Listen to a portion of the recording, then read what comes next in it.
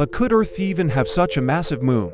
Our moon was born from a violent collision billions of years ago, when a Mars-sized object smashed into the young Earth, hurling debris into orbit that eventually coalesced into the moon we know today. For the moon to be twice as large, that impact would have had to be far more catastrophic, possibly altering Earth's spin or even stripping away part of its atmosphere. A bigger moon might also have slowed Earth's rotation over time, making our days longer than 24 hours.